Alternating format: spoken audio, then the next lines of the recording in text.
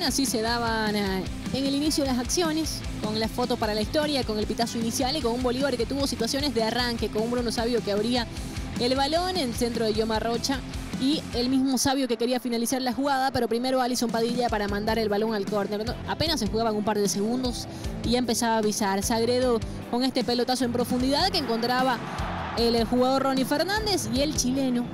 Claro, no podía controlar o en realidad se precipitaba en el remate.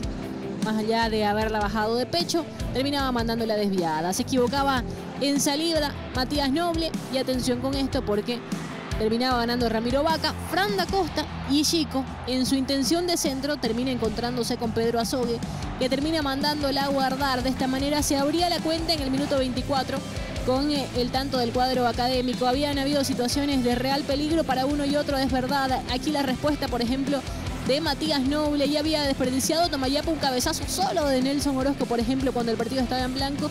Y también tenía respuesta el equipo de Brignani. Atención con esto, con Ronnie Fernández, quien intentaba de esta manera, con pirueta incluida, con esta maniobra medio acrobática, era Ramiro Vaca. Estaba tan solo que podía tener otro tipo de definición. Apuesta por ese y el poste le dice que no. Bruno Sabio burla a Tiago Ribeiro, va hasta el fondo y quien le pone la cabeza a esta pelota es Fran da Costa, que en esta sí iba a tener la oportunidad de, cantar su séptimo gol.